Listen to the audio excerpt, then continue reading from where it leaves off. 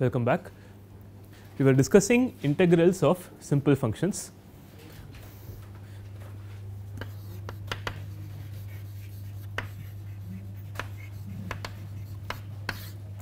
So, we said a function is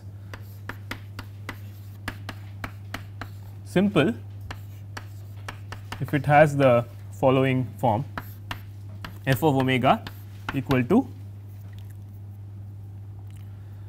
sum over i equals 1 through n little a i indicator of a i of omega.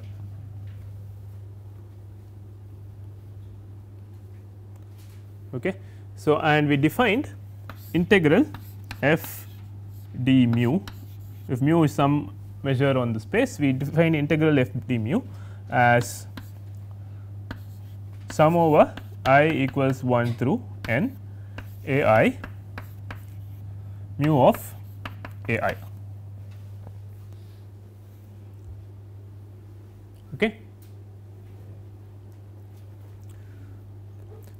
Now, so note that so a simple function inherently. So, if you assume that this fu function f is written like this in its canonical representation, it always partitions the sample space into n parts. So, if you the, omega, so the, if, if that is my omega right and that is my r and so what will happen is that that may correspond to a 1 right and all of this will map to some value a 1 right and that may be a 2 and that will correspond to some little a 2 and so on right. So, this function partitions my sample space into n n partitions right a n will map to some a n right and so on. Now, we are going to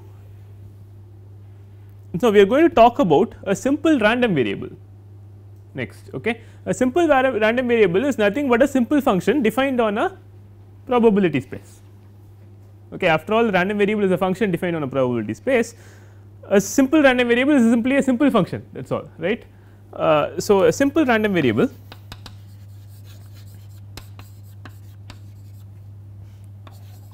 omega f p let us say will have the form x of omega equal to sum over i equals 1 through n little a i i a i of omega where a i is greater than or equal to 0 here too right. So, a i is greater than or equal to 0 and a i is in f. So, here a i i's our events. Okay. A random variable which has this kind of a form is called a simple random variable and again a simple random variable will partition the sample space into n partitions a 1 through a n and all the omegas in a i correspond to the random variable taking value little a i. Okay.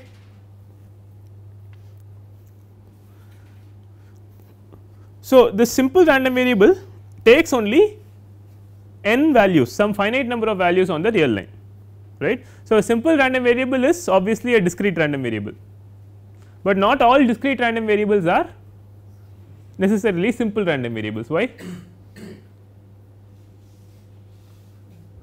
So, a discrete random variable could take countably infinite values right whereas a simple random variable can only take n values some finite number of values correct.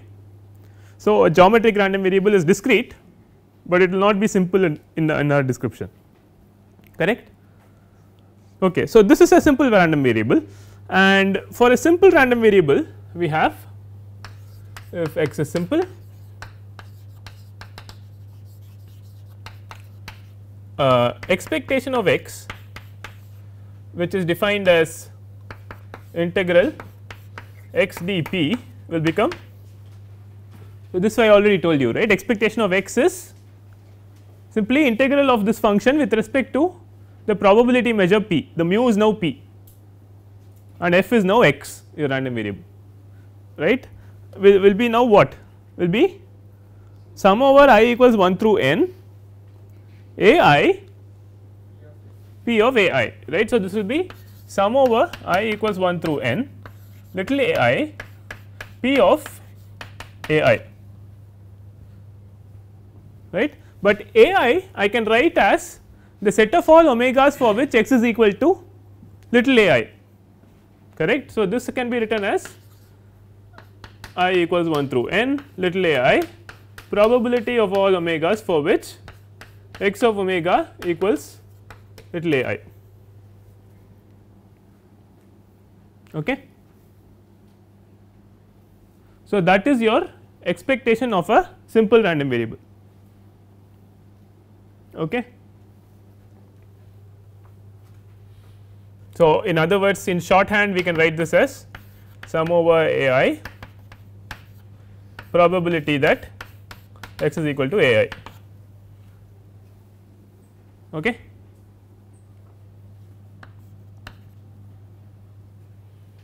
Or you can write this in terms of the PMF p x of little a i. Okay. Is clear?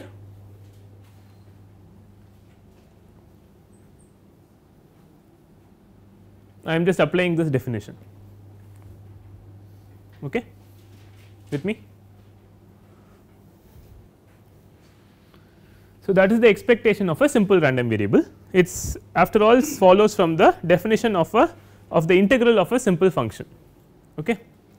Now, we have to move on to more general functions okay, functions which are not necessarily simple functions. We will talk about first integrals of non negative measurable functions. Okay.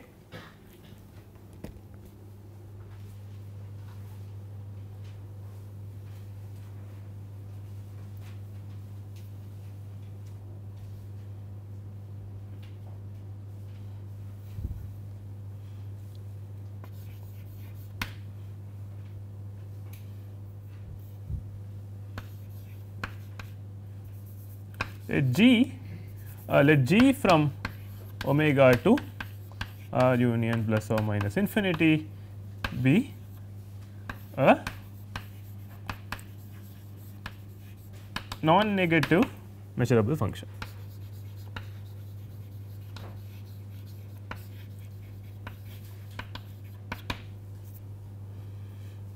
Let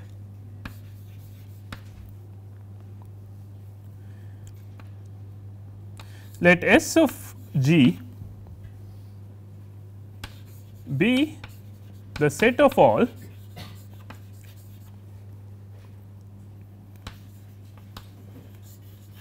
simple functions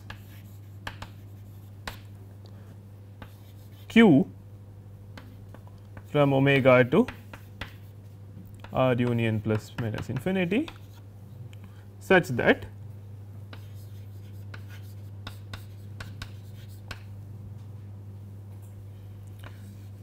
g of omega greater than or equal to q of omega for all omega.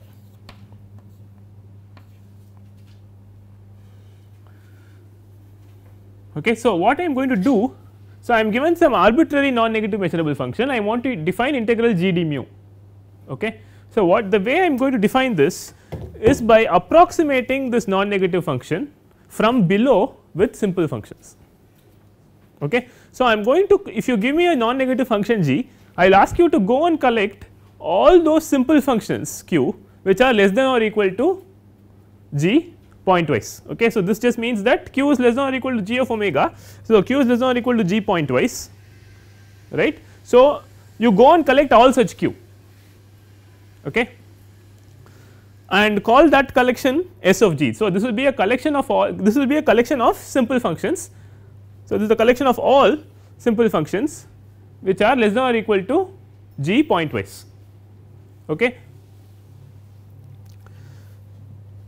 So, and I am going to define so definition integral g d mu is defined as supremum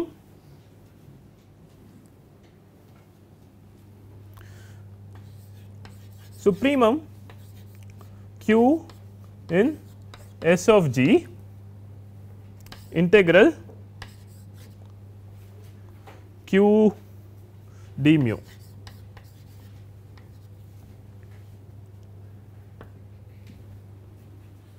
Okay. That is my definition of the integral. So, this is a definition that is very hard to use in practice, but it is nevertheless a definition which will help us prove properties of the integral right away. So, let me help you understand this definition. So, as I said S of g is the collection of all simple functions which are less than or equal to g okay. and integral q d mu where q is a simple function you know what it is. So, you go so you go ahead and evaluate q integral q d mu for all the q's in S of g okay. So, you will get a for each q you get a number correct. So, as you vary q through S of g you will get a collection of numbers real numbers or maybe infinity right. So, you get a collection of numbers. Now, that collection of numbers has a supremum right because every collection of real numbers has a supremum correct. So, that supremum is called the integral is defined as the integral of g d mu Okay. So, the reason I say so this is mathematically perfectly well well defined right, but on the other hand this is very difficult to use in practice. So, if I give some function g of x is equal to x squared or something you have to go ahead and hunt for all functions simple functions which are less than or equal to that function and you have to evaluate the integral that may be an uncountable collection of functions right and you have to evaluate those integrals and find the supremum of those numbers correct. So, it is not a practically uh, useful definition, but it is nevertheless a definition that helps us prove a number of properties about integrals. Okay. We will later see that uh, this will lead to a more practically useful definition of the abstract integral as well. Okay. For now this is a mathematically consistent, but practically useless kind of a definition, but we will prove some properties with this definition.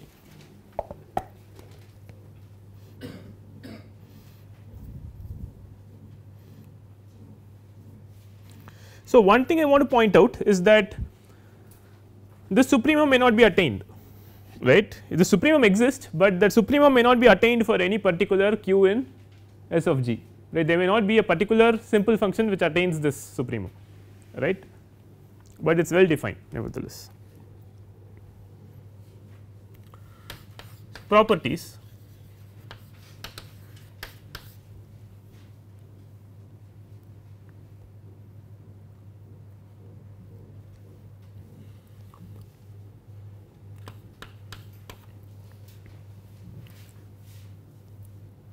So, I will state some properties of the integral itself and because we are studying probability I will specifically state it for the case of random variables and probability measures.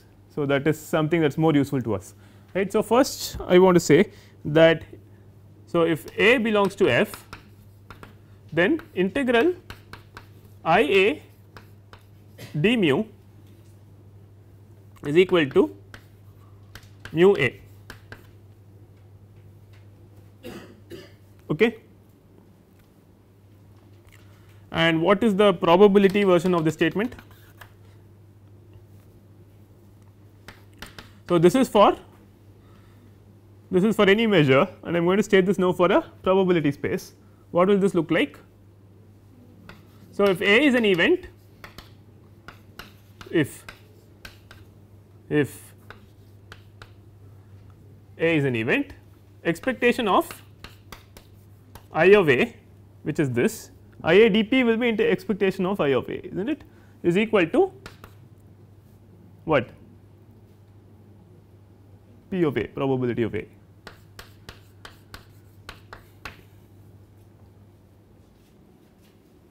right? Is it clear? Mu of a will be p of a right? Because I am talking about a probability measure. And integral i a d p will be the expectation of the random variable indicator random variable i a. Okay. So, the expectation of the indicator random variable is always the probability of the expectation of the indicator random, random variable of event a is always equal to the probability of a right. How is how do you prove this?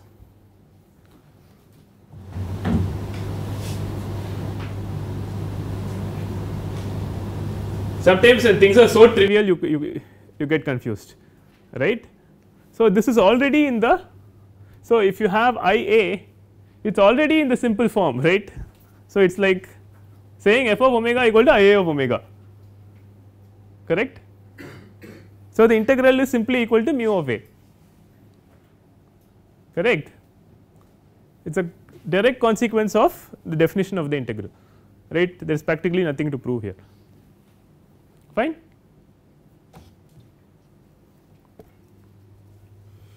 Second if G is non negative measurable then integral G d mu is non-negative. negative and in this case I am going to say if x is a non negative random variable then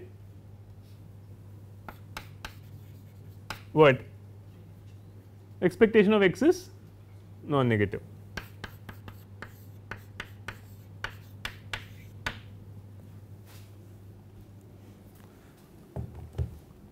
So, do you see I mean these two are the same statements effectively. I am just this is for a probability space. This is for some arbitrary measure space okay. Now, how do you prove that?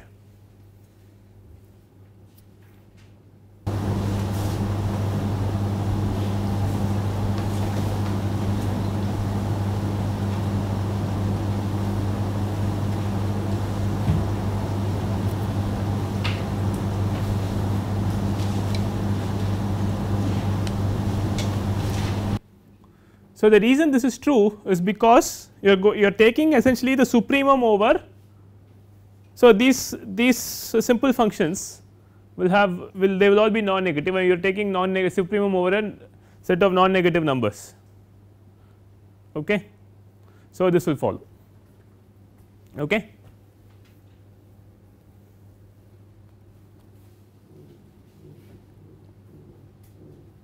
Is that clear? This is also very trivial.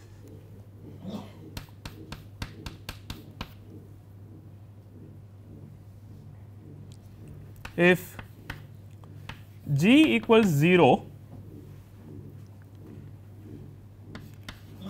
mu almost everywhere then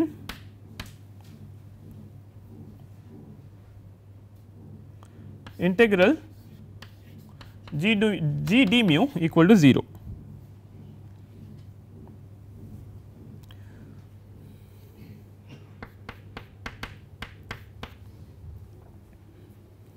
So, now what should the probability statement be?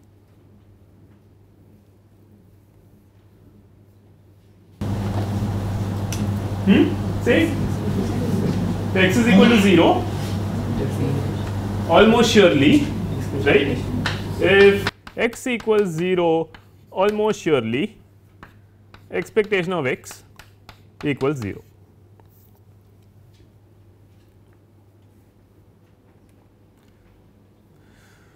So, g equals 0 mu almost everywhere means? G is 0 except possibly on a set of mu measure 0 okay? We do not know what this mu measure is. It may be Lebesgue measure it may be some other measure but on a set of mu measure 0 it may be non, zero but everywhere else it is 0 okay? That is what this means. How do you prove this? You can prove this from the definition.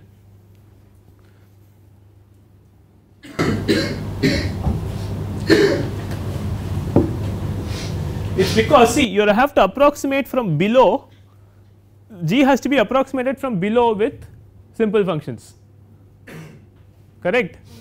So, if at all so if you want to look for simple functions which are lower bounding g those simple functions can be non-zero only on uh, 0 mu measure set correct. So,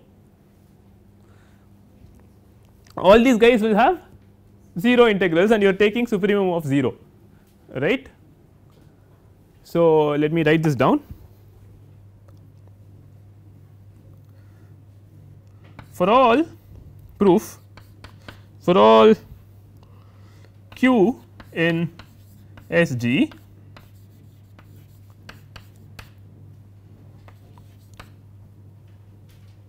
So, okay, so for all q in S g we have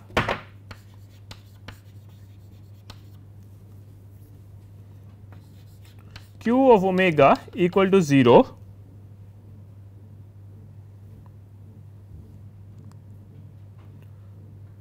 for all omega such that g of omega equal to 0.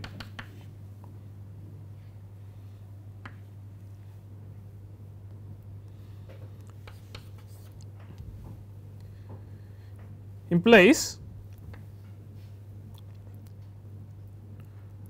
for all q in S g integral q d mu will be 0. Is that clear? So, q of omega. So, whenever g of omega is 0, q of omega has to be 0 right. On the set of on the set where g of omega is non-zero, q of omega can be can be anything less than g of omega, but the set where q can be non-zero has measure 0 right. So, uh, this has to be this integral of q has to be 0 for every q in S g correct. Therefore, the supremum of all these numbers is also 0 okay. So, it is so although this definition is very difficult to use to compute integrals it is already helping us prove some not very trivial properties okay. Sorry because q of omega being a simple function is always non negative right.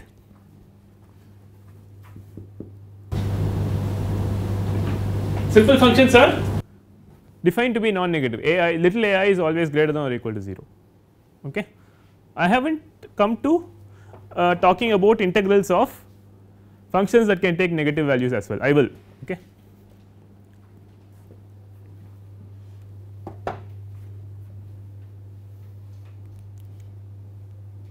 Actually now may be a good time to do that in fact. I will continue with properties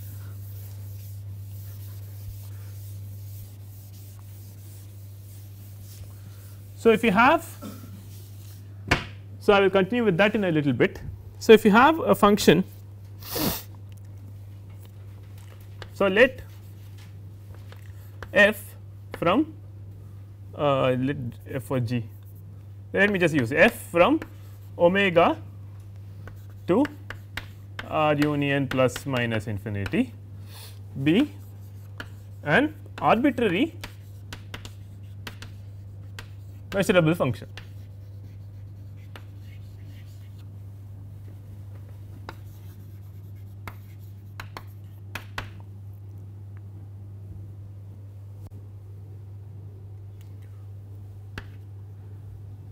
Then write f is equal to f plus minus f minus where f plus of omega greater than or equal to 0, f minus of omega is greater than or equal to 0 for all omega in omega. So, what I am going to do is if you give me a function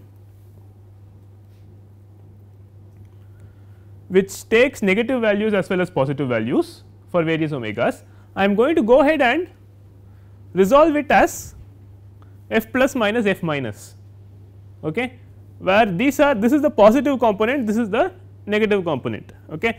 So, in picture what I am doing is let us say this omega is simply real line for the sake of argument. So, if you have a function f that looks like that okay, let us say it looks like that. So, this is a function that takes both positive and negative values. I will keep f plus as the part above the so, I will only that will be my f plus right and my f minus will be not that, but the flipped version of that. Okay, so, because f minus I want it to be non negative. So, I will take my f minus to be you know the flipped version of that flip uh, it will be like like that. Okay. So, that f can be written as f plus minus f minus for all omega. Okay. So, is, is this clear? Now, I am going to define. So, I am going to do something very uh, logical. So, define integral f d mu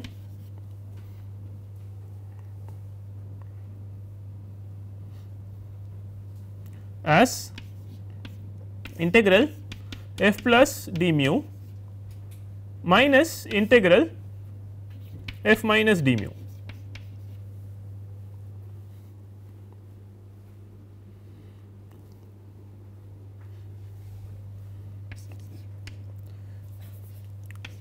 Okay. And this is well defined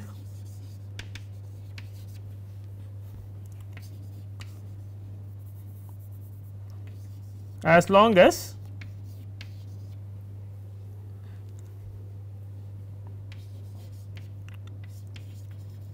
at least one of the integrals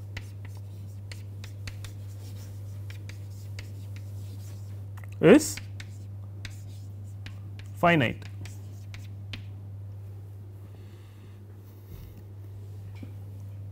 and undefined otherwise.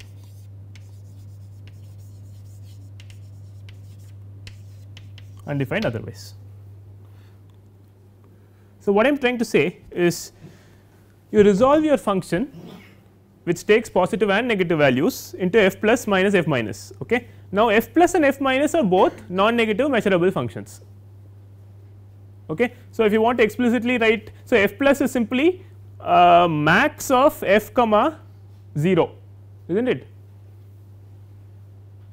right and f minus will be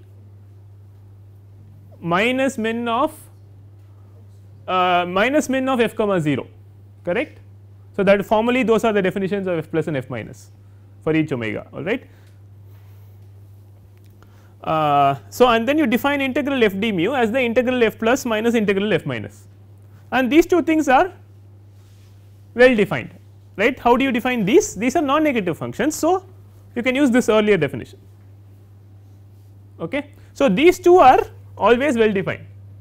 Now, the question is is this minus that well defined? See now there are several possibilities. It may be see this guy is a non negative function.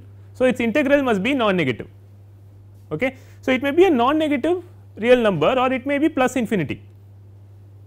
Correct? So this integral may be some real number or plus infinity. Similarly this integral may be some real number or plus infinity. If they are both real numbers finite then this will be one real number minus some other real number perfectly well defined no problem. If this were to be infinity and this were to be some real number then you have infinity minus some real number which you call plus infinity no problem. Okay. So, the totally 4 possibilities this will be so let us say this is finite and that is plus infinity then you will have real number minus infinity which is minus infinity that is also no problem. The last situation is where this is infinity and this is infinity okay then infinity minus infinity is not defined okay. So, except when so in the case when both this integral and that integral are both plus infinity this integral is not defined okay it has no meaning. but in all other cases it has a meaning okay you either it will either be a real number or it will be infinity or minus infinity but infinity minus infinity has no meaning. Okay? Is that clear? So we have actually defined now integral over so integral over of any function integral of any function over the space is well defined now any measurable function. Okay? It is well defined as long as not both of them are infinity. Okay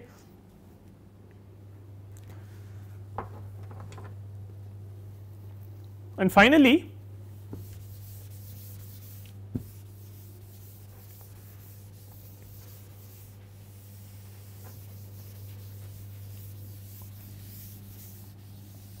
So, while I am at it, so I will define the last bit also when so let A be f measurable and f an arbitrary measurable function. Okay. Then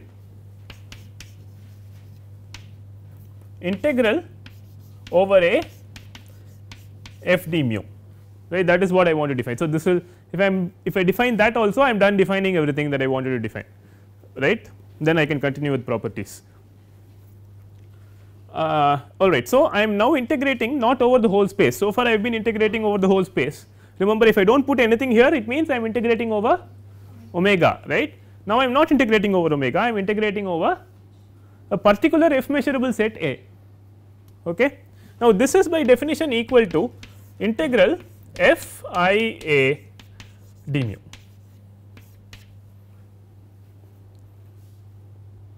What does this mean?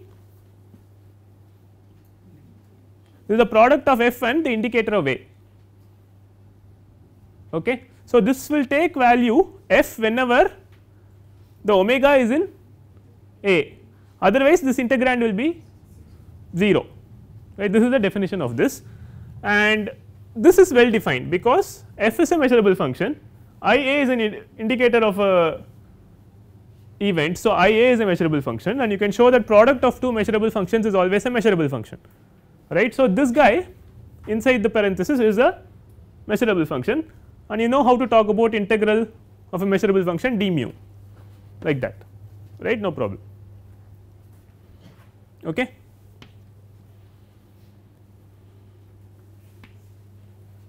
So far everybody fine with the definition so far? So now then we can proceed with some more properties.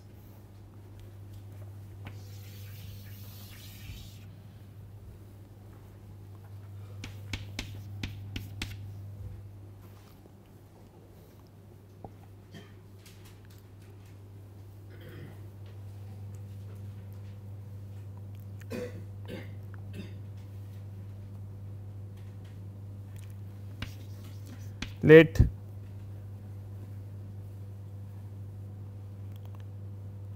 G uh, let me write like let H greater than or equal to G greater than or equal to 0 then integral H d mu is greater than or equal to integral G d mu which is itself greater than or equal to 0.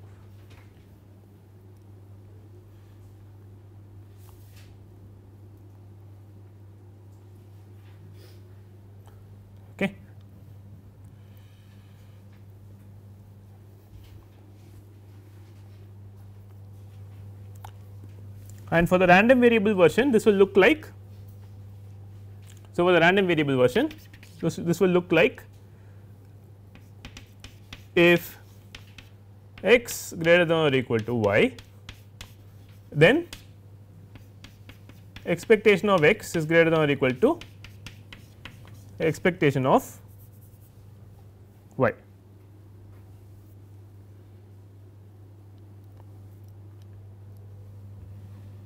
So, so how do you prove this? You have so now you have to do two things. So, you have So, let us I mean I am just sticking to non negative functions now okay you can actually prove this even more generally, but let us once you prove it for non negative function it is easy to prove for in more generality. Now, h is bigger than or equal to g right which means the remember S g right correspondingly there will be S h right. So, S g will consist of all those simple functions which are less than or equal to g and S h will consist of all those simple functions which is less than or equal to h, but h is always bigger than or equal to g. So, S g is contained in right exactly S g is contained in S h because of this. Is this clear? Every simple function which is less than or equal to g is also necessarily less than or equal to h. Correct, but there may be simple functions here which are not here. Right? Because h may be bigger. Correct. So, what so this is now you can easily prove what you want to prove because now you are supremizing over a bigger set. Right? The integral h d mu right is the supremum over S h and integral g d mu is the supremum over a smaller set S g and therefore, the supremum over a bigger set is always bigger than or equal to supremum over the smaller set and this will follow correct. Any questions?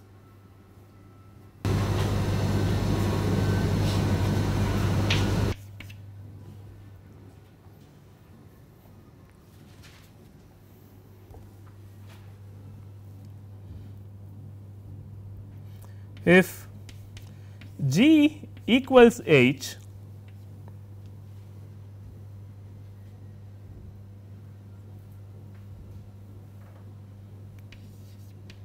uh, G equals H mu almost everywhere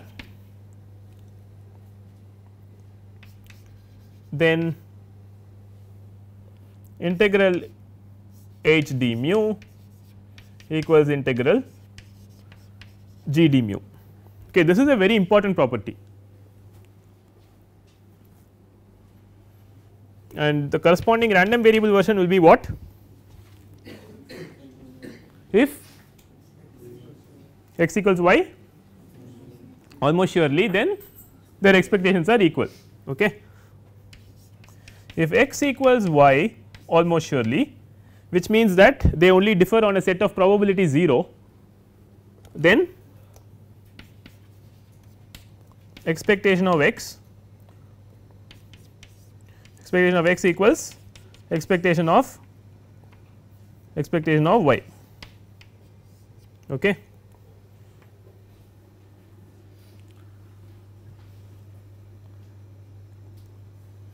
So this is saying that if you have any two functions which differ only on a set of some mu measure 0 then the corresponding integrals will be equal if you are integrating with respect to that measure. So, for example, if lambda were to be if mu were to be lambda the Lebesgue measure and if say two functions both defined on the real line for example, if two functions are equal except on a set of Lebesgue measure 0 then their Lebesgue integrals will be equal correct Consider for example, the Dirichlet function we, we studied right. So, the, Dirichlet function is 0 except on a set of rationals which is a measure 0 set right. So, the integral of the Dirichlet function is same as the integral of the function which is 0 everywhere right. So, and the integral is 0 right. So, that is that is what this is saying. So, colloquially this property can be stated as oh if you change the value of the function on a measure 0 set of points the integral does not change okay? But both these mu's should be the same. Okay? They, they, they differ only on a set of mu measure 0 then the integral with respect to that measure will not change. Okay you cannot have like different you cannot have a Lebesgue measure here and some other measure here. That does not work right? This this measure and this measure must be the same. Okay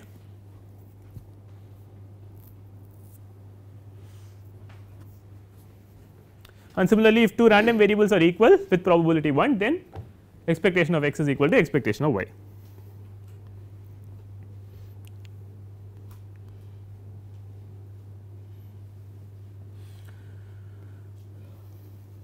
So, this again, so this proof again follows from the definitions. Okay.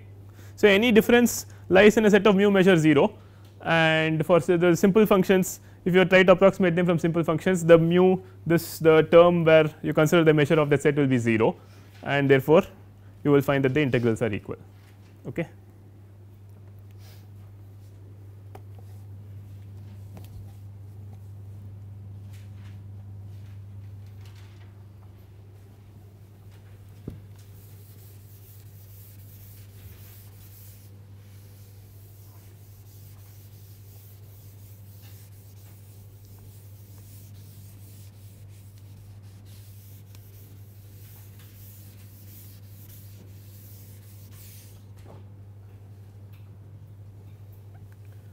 Property number 6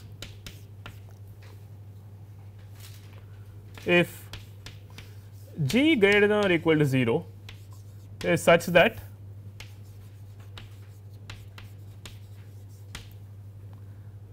integral g d mu equals 0 then g equals 0 mu almost everywhere.